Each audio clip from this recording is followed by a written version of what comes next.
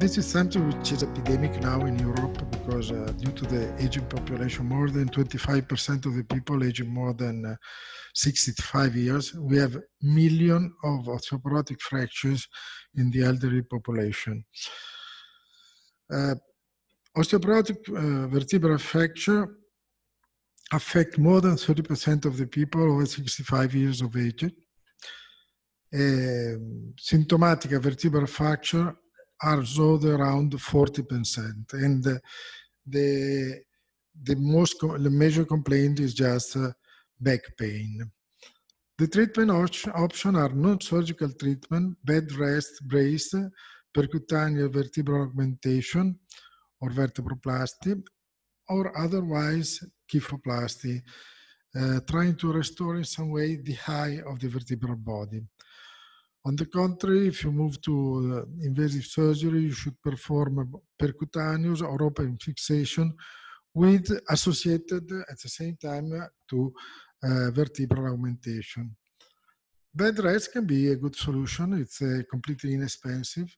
And in many, many cases, it, uh, the vertebral uh, uh, body will will recover. There are two major studies, one by the American Society of Neurosurgery and the other one by the Canadian, which show that uh, on a long run, vertebroplasty is, is not superior to just conservative treatment. So we have to keep in mind that uh, uh, conservative treatment also dealing with very, very old people is something which is important. In our opinion, uh, surgical treatment, even minimal invasive such as vertebroplasty or kyphoplasty, should be taken into account if the patient is unable to stand with the um, with the brace within few days after the fracture. Because if you have an old patient who remains in bed, is uh, prone to have uh, plenty of complication. Of course, vertebroplasty is giving pain relief, partial vertebral body restoration, and prevention of deformity. And most of all, early mobilization, which is avoiding a lot of other complications, mostly in, in old patients. After, for the natural history of the pathology, this technique can be applied after one month of failed conservative treatment, which it's a time for initial spontaneous healing, and no longer than three months from the breakage to obtain pain relief and restoration of vertebral body high. Normally, after one month, um, the patient and the family will create a great pressure toward the doctor to do something. As a matter of fact, vertebral vertebroplasty, at least in Italy, it's expensive and it uh, often needs one or two days of uh, hospitalization. So we tried as much as we can to avoid to perform vertebroplasty to everybody. Of course, the procedure is very simple. It's a percutaneous, and uh, in case of kyphoplasty, you can even try to restore the height of the of the vertebral body. We have been uh, testing both these procedures, and uh, finally, we made the decision just to perform vertebroplasty just because kyphoplasty is more expensive and the clinical results are not superior.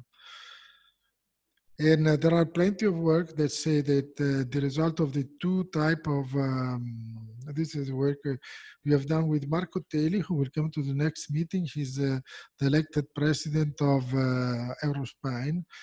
The result of vertebroplasty and kyphoplasty are equal in pain relief and vertebral body high restoration vertebroplasty, of course, has a high risk of cement leakage, but if you have an imaging system such as a O-arm in the operative theater and or just even a fluoroscopy, you check meanwhile you're doing it, so you, you pay attention. Kyphoplasty has a higher cost and um, there is an equal risk of fracture of adjacent level, mostly due to osteoporotic bone than by the injection of methacrylate itself. This is uh, our algorithm for uh, choosing vertebroplasty of kyphoplasty, but as a matter, of course, kyphoplasty is not uh, uh useful if the height of the vertebral body is lower than 30, the 30%. Nevertheless, uh, I can tell that we have mostly abandoned it, but mostly for economic reason. Symptomatic leakage, as a matter of fact, is very rare. The methacrylate does not increase the baseline risk of new vertebral fractures. is a sort of legend, as a matter of fact. If, if you go through the great numbers, kyphoplasty it has a longer operative time, but also, of course, a greater kyphosis correction. There is no difference in relief for disability between vertebroplasty or kyphoplasty. And uh, vertebroplasty is superior to uh, injection, facet joint injection in hospitalized patients. Ah, no, it's superior to not uh, surgical treatment in hospitalized patients. Vertebroplasty has a shorter time. Kyphoplasty uh, has, a, has, a, better corre correction. No difference in the risk of DHN level uh, fracture again. And uh, kyphoplasty and vertebroplasty are superior to non-surgical treatment in terms of pain, relief, and disability. Both complications have a very low rate of complication. So finally, uh, kyphoplasty and vertebroplasty are superior to conservative treatment, treatment and also to any sort of uh, injection in order to, re to relieve the pain of the patient. This is a, an example of vertebroplasty. In some way, this is an example on the contrary of vertebroplasty. It's clear that uh, you are recovering a better height of the vertebral body.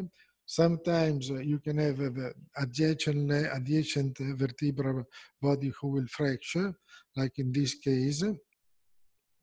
Finally, we perform this surgery. Of course, as you see, something which is just rescue surgery by Hughes uh, and uh, in the shortest uh, segment you can. Of course, what we do now is use imaging and navigation device um, and they can also be, it should be said that this procedure can also be uh, used in combination with open surgery if necessary. Sometimes it's a great help in treating some uh, minor um, fracture of vertebral body included in the arthrodesis area. Thank you very much.